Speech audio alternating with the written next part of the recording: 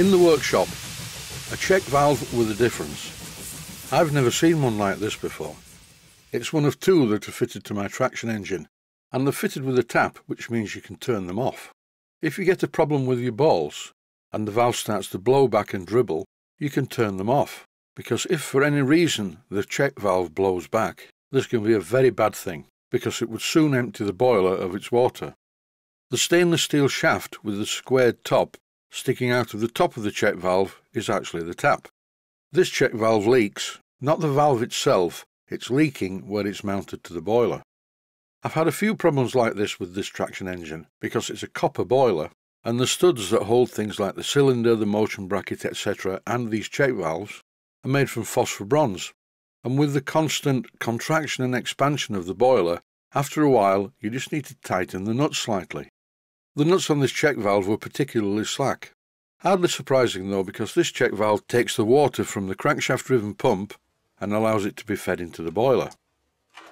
And as this is cold water from the bunker tank that's been fed straight into the boiler, this check valve is constantly expanding and contracting.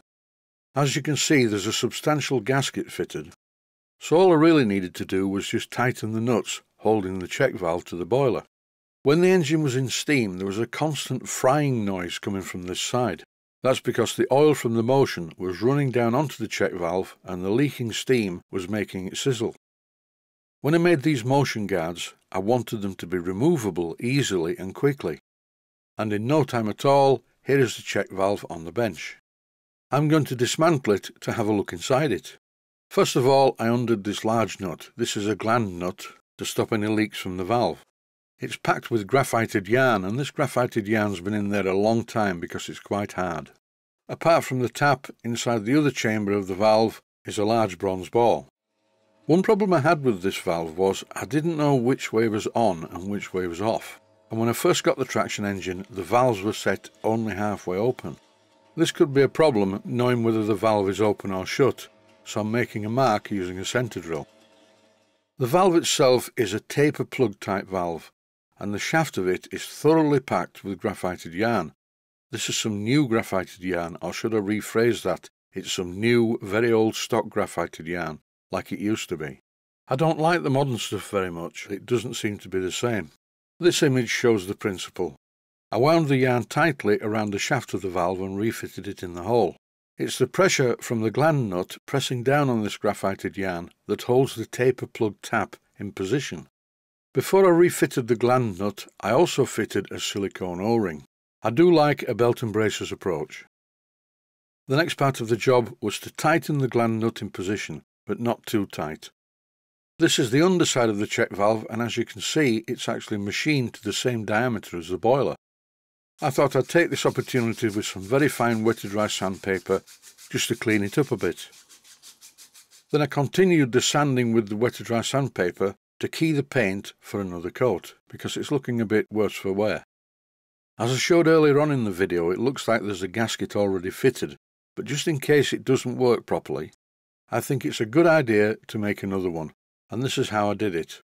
I drew round the fitting then I estimated by eye the position of the middle hole which is offset like this. Then I punched out the holes using a hole punch. The holes weren't big enough so using my Proxxon motor tool fitted with a grinder, I enlarged the holes. I went halfway through from one side, then I turned the gasket over and continued on the other side. By doing it that way, I found that the holes were much cleaner.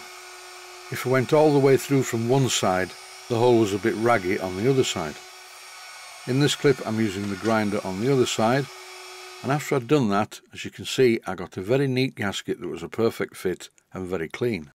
I'm not going to fit this gasket straight away. All I'm going to use is a modern equivalent of Boss White jointing compound and see whether it seals. I'm sure it will. Time to sit back and relax because it's painting time.